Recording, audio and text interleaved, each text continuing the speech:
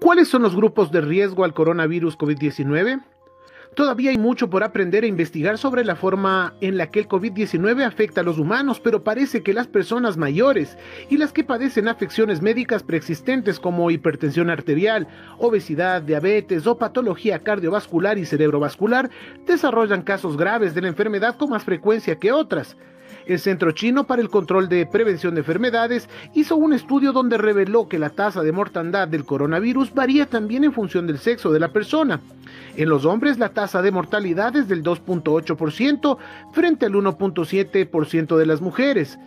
Para Sabra Klein, investigadora de la Escuela de Bloomberg del Departamento de Microbiología e Inmunología Molecular, los estrógenos serían el principal grupo de hormonas sexuales femeninas que podrían tener la clave de las diferentes respuestas frente a la enfermedad. Por tanto, los estrógenos favorecerían a la eliminación de esta infección viral. ¿Por qué tienen mayor riesgo estas personas? Como hemos dicho, las personas mayores y las que padecen afecciones médicas preexistentes son las más vulnerables al virus. La revista médica de Lancet afirma que esto ocurre debido a que este tipo de pacientes tienen una respuesta inmune deficitaria. El hecho de tener las defensas debilitadas hace más probable el desarrollo de una neumonía vírica grave. Para las personas que tienen una cardiopatía previa, coger una neumonía vírica grave les provocaría insuficiencia cardíaca, ya que ralentizaría la llegada del oxígeno al corazón. Además, en las enfermedades cardiovasculares existe un exceso de inflamación, si a ello se le suma una infección respiratoria como la producida por el coronavirus, no solo afectaría el nivel cardiopulmonar, sino que afectaría al resto de los órganos del cuerpo. Son todos estos aspectos los que favorecen a que en personas con problemas cardiovasculares previos, una infección respiratoria como COVID-19 provoque una mayor tasa de complicaciones e incluso mortandad.